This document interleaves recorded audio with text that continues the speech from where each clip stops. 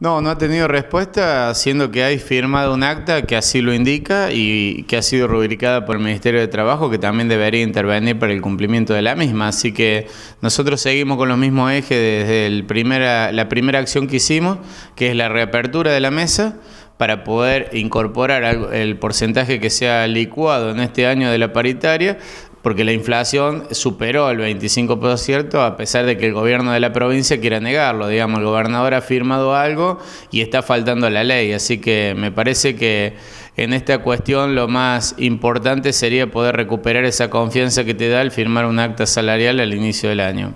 ¿En cuánto creen ustedes que se ha superado eh, la inflación? Eh, ¿Cuánto ha superado ese 25%? ¿Y qué ¿Qué estimación tienen ustedes? ¿Qué índice toman como eh, referencia? No, mira, por lo que estamos tomando, la inflación va a estar en torno al 40%. De todos modos, falta revisar la inflación de noviembre, diciembre y enero, que son lo que terminaría, el trimestre que terminaría el acuerdo salarial que nosotros firmamos hasta el 31 de enero. Así que de todo lo que nosotros estamos pidiendo no es eh, ya decir cuál es el porcentaje, sino abrir la mesa, como decía el acta. El acta decía las partes se sentarán a evaluar, porque después cada uno va a ir con su librito y ahí habrá que generar la discusión de cuál es el verdadero porcentaje que se ha perdido y de cuánto es la interanual eh, tomado del primero de febrero al primero de febrero, que eso es lo que nosotros firmamos como acuerdo salarial al principio de año.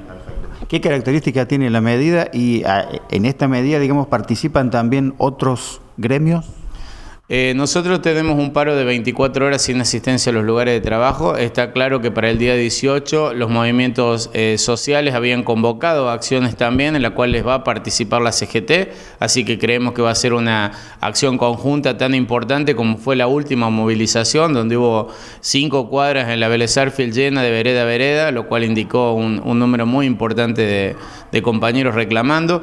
Creemos que el reclamo, aparte de lo salarial, también tiene que ver con lo previsional porque, digamos, no nos olvidemos que este acuerdo que se firmó provincia-nación, en vez de venir a cubrir y a eliminar la 10.333, que es una ley nefasta que le está robando a los jubilados que ya se jubilaron y nos va a complicar la jubilación a los que nos tenemos que jubilar, va a una de financiar aún más el, sistema previsional porque ha sacado seis puntos del aporte patronal, por lo cual es lo más, eh, digamos, retrógrado que se puede porque el patrón aporta menos que el empleado en este momento, el patrón va a aportar 16 y el, em, el empleado va a aportar 18.